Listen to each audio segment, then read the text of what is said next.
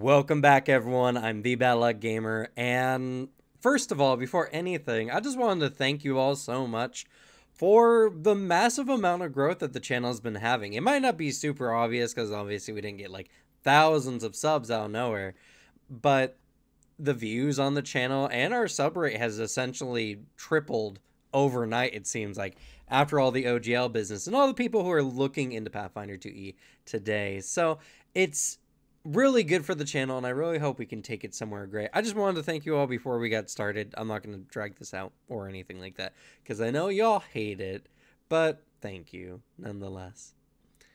All right, so today we're going to be talking about a very interesting archetype that honestly I think is another sleeper hit. Though I can tell that the writer for this initial archetype was trying really hard to make a really well designed and fit in the game style archetype. And it's very obvious with a lot of the wording, as you all see, we'll see here soon. But it's just really funny because they missed on a couple very key important parts that make all the extra work kind of silly. But let's get into it. We're going to be talking today about the Firework Technician, which is an alchemical based archetype, which is really good if you're an alchemist and decent if you're anything else other than an alchemist, especially spellcasters, which I'll talk about here in a little bit but it's actually a really good, diverse, and unique archetype that gives you a lot of utility and tools to handle a lot of situations. So let's go ahead and take a look at it. All right, so for the initial dedication feat here, I actually got pulled up over here because there's there's a lot, if you can see with all the text here. So let's get into the basics. First of all, you need to be at least trained in crafting, which is not super hard, and you can pick this up as early as level 2, so honestly, it's a very easy archetype to get into, which I think is one of its many strengths, honestly. Now, there's a lot of flavor text here, and I'm just to say the basics of what it gives you. So, if you're not trained in fireworks lore, you become trained in fireworks lore, and if you are trained in fireworks lore, you become an expert in fireworks lore. Now, usually when you get a lore with an archetype, it's nothing really that major and it's just something to kind of add as flavor or just to represent your character's knowledge on the field. But fireworks lore actually does come up a little bit later in the archetype. I wouldn't say it's a skill that you would need to increase very quickly, but having a higher fireworks lore is actually beneficial in this archetype. So just something to keep in mind. This is also a really good dedication feat because it also gives you alchemical crafting, the, the skill feat, which is super solid. And if there's something you're planning on doing already, this is really good. It's not good because I think one of the classes that benefit the most from Firework Technician is the Alchemist and you already get alchemical crafting. So it's not really good in that regard. But hey, if you're playing something like an inventor or an investigator, both classes that I think would really benefit from this archetype dedication, that's a really solid pickup, honestly, overall. Now, not only do you get alchemical crafting, but you also get an, an amount of infused reagents equal to your level that you can use only for making fireworks. Now, if you have another source of infused reagents, say you're playing an alchemist, you take the higher of your infused reagent amounts, you do not add them together. So unfortunately, you can't boost your infused reagent numbers, which would be honestly super broken if you could. Now, you also gain access to advanced alchemy, which allows you to craft alchemical items at the beginning of your day, specifically fireworks in this case, without spending any gold or without spending any of the time required to make the fireworks super solid, but not super relevant to this archetype dedication actually at all. Now, the biggest reason is advanced alchemy is mostly used for making alchemical items, but the fireworks that this archetype dedication uses are actually not actual fireworks you have. They're abilities you get with the, what's it called, launch firework display skill or action. So it's it's very weird and as uh, of my researching of this video, there's only three alchemical item or uh, three fireworks in the game currently that this advanced alchemy even really would apply to And another thing, and again, you can see that this person's put a lot of effort into all the writing here, and they tried very hard to make sure that the rules work and everything fits neatly together. But firework is not a trait in the game, so there's no alchemical items with the firework trait. So, what are fireworks? Well, fireworks are anything that say they're fireworks in their description somewhere. So, uh, well, I'll pull up a couple here. There's gonna be the the dwarven daisy lesser and the moderate versions of this firework, and as far as oh no, there's also the tar rocket snare, I believe. Yes, the tar rocket snare, the dwarven daisy, and there's technically a firework pogo, which is a vehicle you can use. It's a very fun one, and it's not an alchemical item though, so technically it doesn't qualify for the use of the infused reagents, which makes sense because it's a, a vehicle and it's a really good item, honestly. But eh, hey, if my firework person wanted to make one, I, I probably wouldn't say no. I probably wouldn't let them use infused reagents for it. But I think it's interesting. Anyway, so these are the only fireworks in the game which makes the overall archetype dedication giving you advanced alchemy very silly in a lot of ways but if they add more fireworks then this gets better. It's just they have to add more fireworks for this feature to get better and honestly it's not that big a deal. You get so much with this initial dedication feat that i wouldn't worry about it overly too much hey, just the infused reagents that you're going to use for your abilities from this archetype, and the fact that you get alchemical crafting and you get a proficiency increase with fireworks lore makes the dedication feat one of the better dedication feats in the game as par as far as sheer value and we're not even done yet. So i did mention earlier there's an action you get with this dedication called launch firework display. It's a one to three action based on the kind of firework that you're making and you expend infused reagents to create a specific type of firework. And this is where the firework technician gets really good because essentially you're gaining spell like abilities or spell slot like things using infused reagents. And there's ways to boost infused reagents, like if you have a homunculus familiar, is a really good example, or a familiar in general. I think most familiars can have the infused reagent familiar or master ability, master ability. All right, so let's go ahead and take a look at some of the fireworks that you get. You get three firework essentially recipes or abilities right with the initial dedication feat which again, if they had made this second part a extra feat, I would not have minded because of how much you get with the initial dedication feat. But let's look into what you get with all this stuff. So firework launch fireworks display is essentially you need a hand free and you set off a firework and you can set off a normal firework which creates a loud visual audio effect within up to 20 feet from you that you can use as some kind of signal. Uh, who knows? But you can also use them with the unique abilities found here in the Firework Technician dedication. The first you get here is Comet, which allows you to shoot light in a 60 foot line, and those that line remains illuminated until the start of your next turn, which is really good. And not only that, this is not an action that is very used in Pathfinder 2e, but there is technically a point out where you single out a creature. I think it's an action. Yeah, it's an action, and essentially what it does is if you see a creature that your allies do not see, they become hidden to your allies rather than undetected. It's super niche, and most people don't do it that way anyway, but that is an effect of the comet. Now, regardless, being able to create a bright light until the start of your next turn is actually devastating to some kind of enemies who have a light vulnerability. So this is a good way to create a very solid lighting effect. And it's a bright light, so it probably casts also a dim light, though it doesn't say here specifically. Most of the time whenever there's dim light, it, it's for an extra range. So you get a pretty nice area of lighting that can aid your allies if you're ever in a dark situation.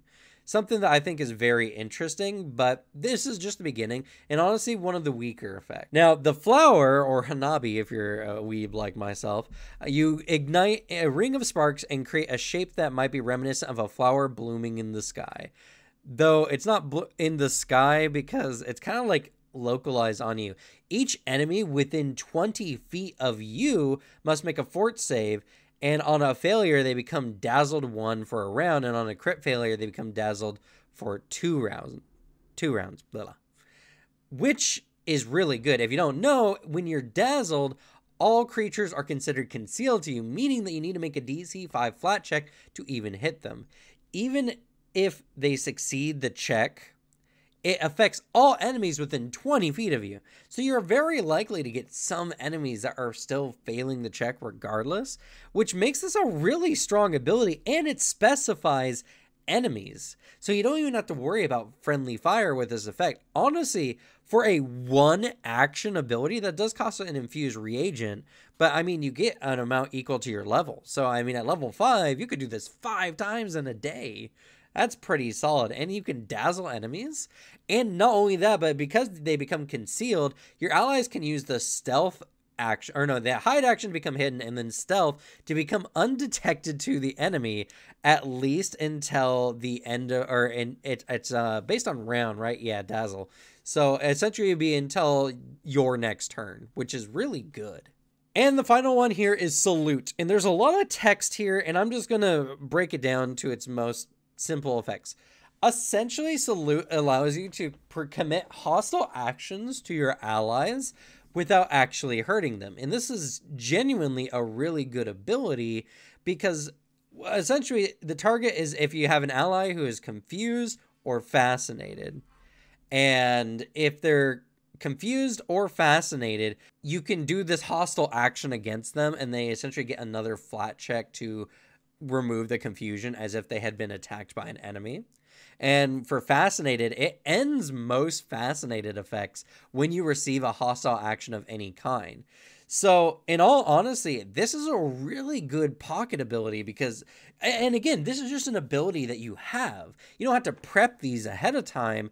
These are just abilities that you can use when the situation comes up, which makes us super versatile and dynamic and is very solid. And rather or not comet or salute really comes up that often, flower is very consistently a very good ability to have on hand, and it's a single action.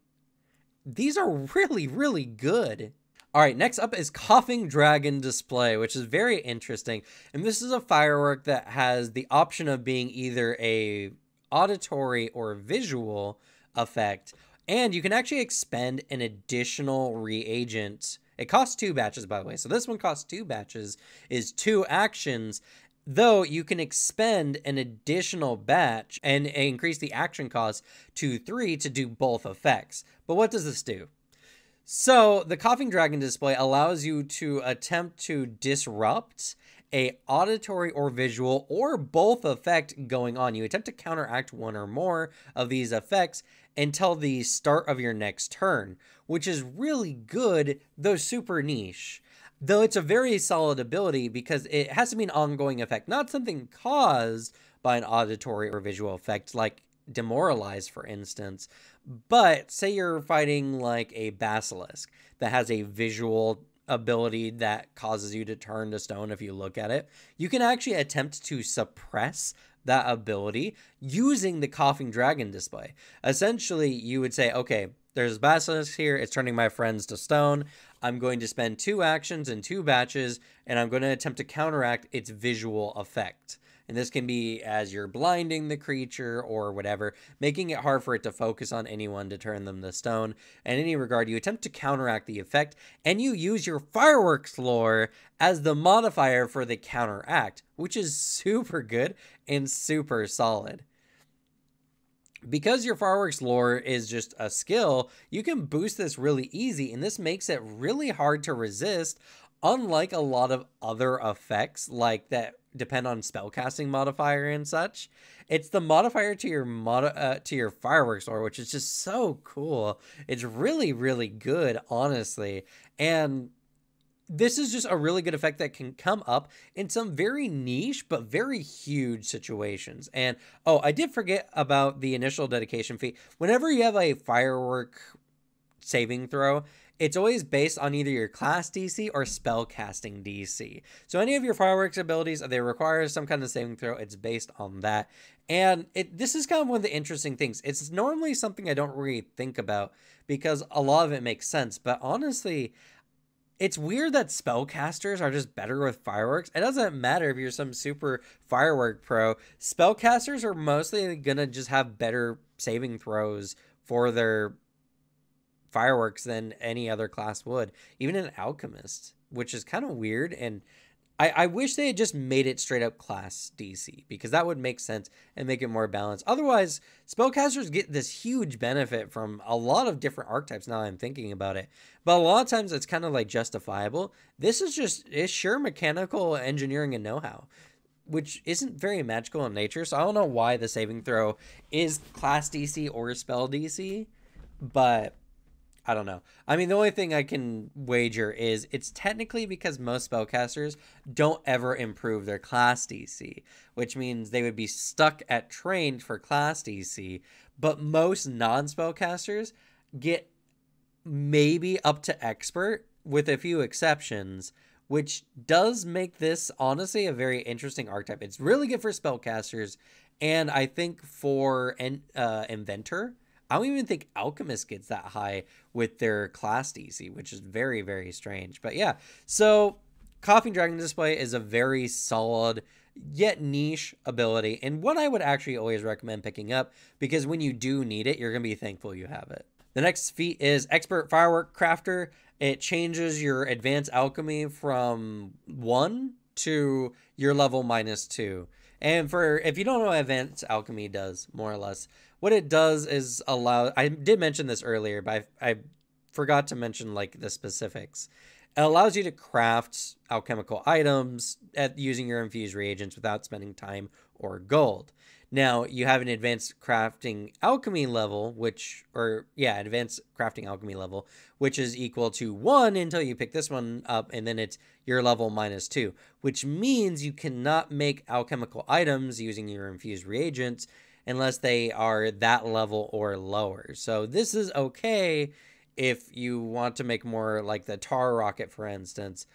But until they add more fireworks to the game, honestly, this is a feat I would probably skip. Jumping Jenny display is a surprisingly also very unique and interesting firework that you can use.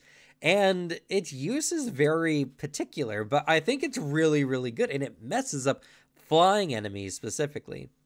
So what it does is you spend a single action, but two reagents, and you target a flying creature within 60 feet of you, which is really good because a lot of effects that affect flying creatures, they usually have to be like directly above you or something like that. But this is any flying creature within 60 feet of you, which is very solid. And what happens is until the start of your next turn, whenever that creature attempts to fly, and the fly action is just a stride action, but flying, obviously they need to make a acrobatics check to maneuver in flight against your DC for your fireworks display, so class DC or spell DC. Or the fly action is disrupted, which is nuts because that means that in order for them to even move in the air, every time they do so, they need to make an acrobatics against your fireworks DC. And you can disrupt movement with this, which is nuts. And the the big topper on top of this is for flying creatures, unless otherwise stated, the, the general rule is in order to stay in flight, they must use one of their actions every round to fly. If they fail to do this, they fall to the ground harmlessly, but they're now grounded. The jumping blah, the jumping Jenny display is a really good way to ground flying enemies or to make their life a living hell because they have to fly every round to remain flying. So they're going to be innately rolling against your DC anyway. And if they fail, they got to try again, waste an action, or no, they have to try again because they're probably too high to use most of their actions anyway, unless they're maybe like a wizard or something like that. it's just a really good firework and another highly recommended one because this deals with one of the most annoying enemies in the game, flying enemies. And something I want to mention about this one as well, it does mention here, Jumping Jenny costs two batches of infused reagents rather than one. It we'll say this multiple times. It's just the writer who did this who is being very sure to explicitly state we know fireworks display the initial action says it costs one unless otherwise stated. Well, this is otherwise stated it's very silly and again it shows that they were really trying hard with this particular archetype dedication but honestly it's a little redundant because it's obvious it's in the cost of the ability but you know next up is the goblin jubilee display which is as goblins are very chaotic and probably one of the most powerful fireworks that you will get access to in this archetype dedication what it does is you create a 20 foot burst of pure chaos and has a range of 120 feet. That's a massive range, and it's a pretty big burst too. 120 or not a 20 foot bursts at 120 foot range is just nuts. Now it does cost three reagents, which is very expensive, and they even mentioned here it costs three rather than one. Yes, thank you. We know. Uh, but what it does is all creatures in the area takes 3d6 fire damage and 3d6 sonic damage and attempt a basic fortitude saving throw. No. Oh yeah, it's a, uh, well, it's essentially a basic fortitude saving throw with added effects. So if they succeed the check, now they succeed the check, they take half damage and they become dazzled and deafened. So if they succeed, they are dazzled and deafened, though deafened is not something that really comes up in combat too much. It's not super relevant, but it's still cool, honestly. And that's a total of a fireball's worth of damage. So 6d6 damage, essentially, split between fire and sonic. And they're dazzled when they succeed. So that's really strong. It's a very strong ability. And if they fail, they're dazzled and deafened for a minute. A minute. That's the whole combat.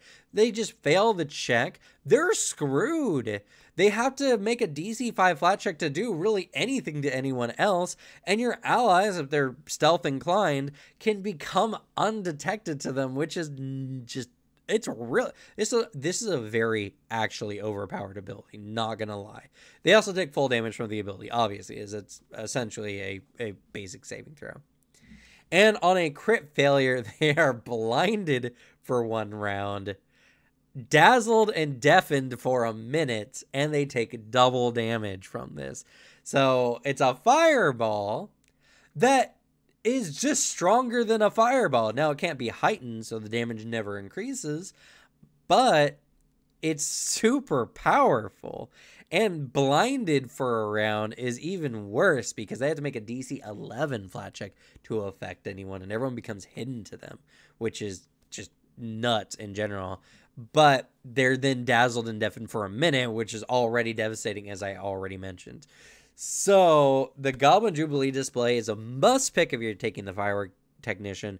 It's just a free fireball, not free, you use reagents, but it's extra fireballs that you can use using reagents. And by this time, you could use this ability three times in a day with just the sheer number of reagents you would have when you pick this particular feat up, which so good.